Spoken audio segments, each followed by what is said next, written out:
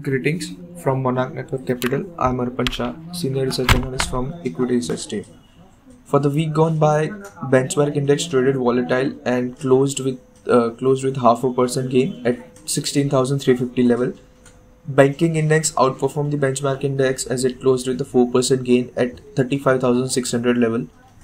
Among Nifty constituents, HDFC Life and Kotak Bank closed with a 10% and 6.5% gains respectively, while Divi's Lab and JSW Steel were the laggards as they closed with a 18.5 and 13% cut respectively. Among Bank Nifty constituents, Kotak Bank outperformed the benchmark index as it closed with a 6.5% gain. Among sectors, financial service index uh, outperformed the benchmark index as it closed with a 4.3% gain while metal and energy index were the laggards as they closed with a 8.7% and 3.5 3.5% cut. Volatility index closed with a 7% cut at 21.5 level. FII continued to be net sellers as they sold equities worth uh, 9700 crores while DII were the net buyers as they bought equities worth 11250 crore in the cash segment globally uh, equi- uh, global equities traded with a positive bias as Dow Jones closed with the 6.2% uh, gain while uh, German index DAX closed with a 3.4% gain.